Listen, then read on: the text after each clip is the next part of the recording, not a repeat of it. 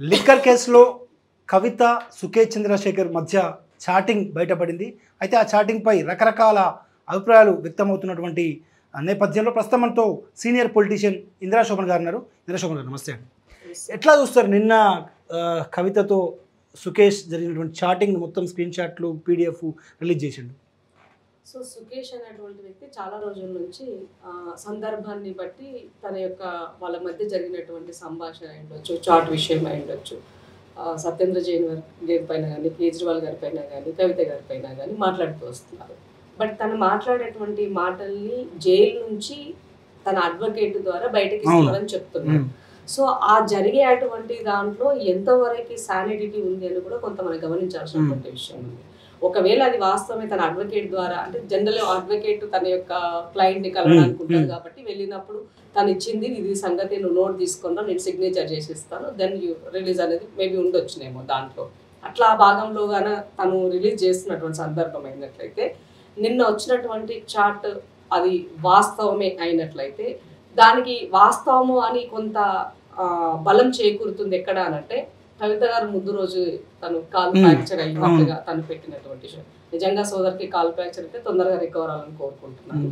But అది ఎంతవరకు నరేంద్ర మోదీ ఇక్కడికి వచ్చి తను మాట్లాడిన తర్వాత ఆ రోజు మోదీ గారు చాలా పెద్ద ఎత్తున తీవ్రంగా. విమర్శలు చేశారు. పరివార గురించి మా కుటుంబం గురించి మాట్లాడినారు అవినీతి గురించి మాట్లాడినారు. అక్కడ ఉన్నటువంటి ప్రజలను ఉద్దేశించి కూడా ఆయన పెద్ద గట్టిగా అడిగారు. అవినీతి చేసినటువంటి వాళ్ళని వదిలేద్దామా? వదిలేద్దామా? వాళ్ళు. పనిపడదామా అని అడిగారు. సో డెఫినెట్గా అక్కడ ఉన్నటువంటి పబ్లిక్ కూడా వాళ్ళ వైపు నుంచి. సో ఇట్లా అవన్నీ గనక మనం గమనించినట్లయితే ఏదో జరగబోతుందని ఒక మెసేజ్ అన్నది అర్థమైంది.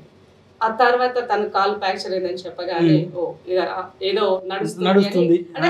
ఏ అనుమానం లేని వాడిని కూడా అనుమానం ఆటోమేటిక్గా తలెత్తినట్టు కనబడింది అక్కడ.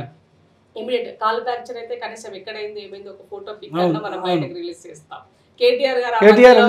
అయినప్పుడు. కూడా ఆయన అట్లా కూర్చొని పెట్టి చూపినట్టుగా కొన్ని మనం చూసిన. అంటే జనరల్ పొలిటీషియన్ ఎవరైనా కూడా ప్రజలకే సంబంధం ఉన్నటువంటి పబ్లిక్ ఆటోమేటిక్గా వాళ్ళ యొక్క లైఫ్లో వాళ్ళకంటూ పర్సనల్ ఏమీ ఉండదు. Everything with with public. ప్రతి దాన్ని కూడా ప్రజలు అతన్ని వాళ్ళని గమనిస్తారు కాబట్టి. ఆమె పెట్టినటువంటి దాన్ని బట్టి చూసినప్పుడు ఇక్కడ ఏదో జరగబోతుంది అనేది కొంత అర్థమవుతుంది. ఈ కవిత గారి అరెస్ట్కు సంబంధించి తన ఎంక్వైరీ విషయానికి సంబంధించి ఇవన్నీ విషయాల్లో తెలంగాణలో ఒక హాట్ టాపిక్గా మారిపోయింది లిక్కర్ అనేది. సో తప్పు జరిగితే ఇమ్మీడియట్గా ఎంక్వైరీ చేసి దాన్ని నాంచకుండా వాస్తవాలు పక్కదారి పట్టకుండా చేయాల్సినటువంటి బాధ్యత ఎంక్వైరీ సంస్థల పైన ఉంది. ఎంక్వైరీ వ్యవస్థలు కూడా ఇవాళ తన యొక్క శానిటీని కాపాడుకోవాల్సినటువంటి బాధ్యత కూడా ఉన్నది అని ఈ కేసు ద్వారా చాలా విషయాలకి ఒక స్పష్టత రావాల్సినటువంటి అవసరం ఉంది. అయితే ఇన్ని మాట్లాడితే ఇన్ని విషయాలు చెప్తూ ఉన్నప్పుడు ఎందుకు కేజ్రీవాల్ గారిని ఈడీ ప్రశ్నిస్తుందని ప్రశ్న- అవును. అడుగుతున్నారు అతనే కీ రోల్ కదా ఇవాళ ఆ బిల్లు ఆమోదం పొందడానికి కేబినెట్ ఆమోదం పొందారు కేబినెట్ ఆమోదం పొందడంలో ఫస్ట్ ఉన్నది ఎవరు? హెడ్ ముఖ్యమంత్రి అవును. సో ముఖ్యమంత్రి గారికి ఎంక్వైరీ లేదు. కానీ మనీష్ సిసోడియా గారు మాత్రం ఇక్కడ పావుగా ఇరికి ఇవాళ ఆయన సఫర్ అవుతున్నాడు దాదాపు నెల పైన అయిపోయింది ఇప్పుడు ఆయన అరెస్ట్. అయిపోయింది ఇప్పుడు ఆయన పైన అతని పైన చూస్తున్నారు సత్యేంద్ర జైన్ గారు అయితే అసలు ఆయన అరెస్ట్ అయిన తర్వాత. చాలా నెలలకి మొన్న ఆ, మన మనీష్ సిసోడియా గారితో పాటు ఇద్దరు కలిసి పదవులు రాజీనామా చేశారు. అని ఈయన చేశాడు కాబట్టి ఆయన చేయాల్సి వచ్చిందని. చేశారు తప్ప. నిజంగానే సత్యేంద్ర జైన్ తన యొక్క పదవులను చేయాలన్న ఇంటెన్షన్ కేజ్రీవాల్కి లేనట్టుగానే కనబడుతుంది మనకి అంటే ఇక్కడ వ్యవస్థల్లో కొద్ది మందిని కాపాడడం కోసమే కొన్ని జరుగుతున్నాయని అనిపిస్తుంది ఒకవేళ కేంద్రం యొక్క దర్యాప్తు సంస్థలు ట్రాన్స్పరెంట్గా అకౌంటబిలిటీలో ఇవాళ పని చేయాలనుకుంటే దీన్ని నాంచకుండా ఇమీడియట్గా ఇవాళ సుకే చంద్ర రాసినటువంటివి ఇంకా తను చెప్తున్నాడు. నా దగ్గర ఇంకా ఏడు వందల మూడు చార్ట్స్ ఉన్నాయని చెప్తున్నారు. ఆ ఏడు వందల మూడు చార్ట్స్ ఉన్న ఫోన్ని మీరు ఎందుకు తీసుకోవట్లేదు?